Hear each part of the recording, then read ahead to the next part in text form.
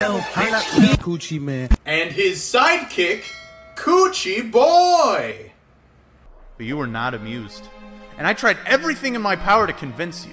I showed you how big my chin was. I showed you the Coochie Copter I invented when I was like seven. I told you every superhero needs a sidekick. And what did you say to me? I'm different. It tore me apart. But it taught me a very important lesson that day. You can't trust anyone, no matter how different they are. But hey, that was years ago. Surely I'm over it by now, right? And I think you'll be happy to know that I set my goals a little higher than petty sidekick. that being said, you better watch your back, because there's a new man in town. Coochie man. man, man, man, man.